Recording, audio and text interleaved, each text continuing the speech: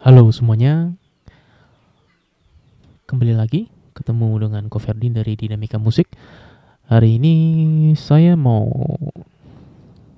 review menggunakan mic ini, mic baru dari Recording Tech, mic wireless yang langsung menggunakan receiver kecil ya. Kita koneksi langsung ke Soundcard DS Orca MK2 dan kita rekam langsung ke handphone di dalamnya dia ada manual kartu garansi seperti biasa dari PT Media Graha. Bonus ring mic 2 kabel casan audio buat receivernya Type C mic-nya 2 receiver 1 dan tampilan packagingnya. Ini. Untuk mic ini saya boleh bilang best of the year 2024 karena ini mic dengan receiver kecil yang multi frekuensi. Oke, okay? multi frekuensi. Jadi dia bisa ganti frekuensi bila bentrok dengan mic lain.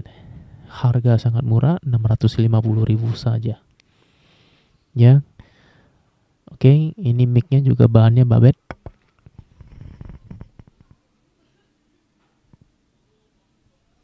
Dan ring ini dia nyala.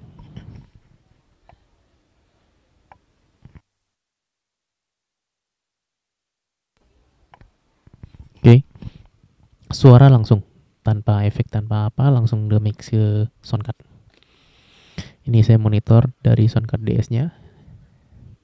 Satu, tes satu dua cek he. Untuk teman-teman yang mau tes review lain bisa tinggalin komen di bawah. Dan ini biasa peruntukan untuk uh, portable yang mic-nya rusak ataupun hilang. Susah untuk klaim ke garansi merek lain pakai mic ini aja. Untuk bassnya bagus, treble-nya bagus dan clarity-nya juga enak. Ya. Ini tanpa efek apa pun langsung ke soundcard dan recordnya pakai handphone. Oke. Okay. untuk akhir video kita ada cara penggantian frekuensinya. Ya. Check it out. Teman-teman. Nah ini cara penggantian frekuensinya.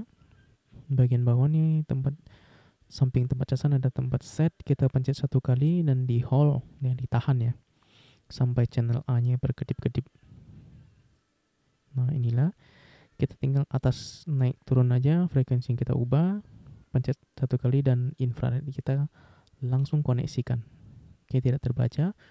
Kita ulangin satu kali lagi ya. Ini frekuensi berbeda. Kita tekan satu tombol set tahan ya sampai channel A atau channel B nya berkedip tinggal diubah saja prosesnya. Infrared di bagian depan dekat layar di bawah layar ya. Ya ini sudah berubah ya teman-teman. Cara penggantian frekuensi mic RT HHWM2 dari recording tech